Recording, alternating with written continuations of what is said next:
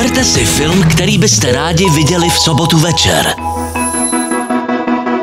Drama o překonávání překážek nejen v životě? Slavný Oscarový film režiséra Jiřího Mencla? Nebo úsměvný pohled na obyvatele jednoho činžovního domu? V každom počasí, ostře sledované vlaky nebo dům na předměstí. V sobotu večer sledujte Film na přání. Hlasujte na csfilm.joj.cz.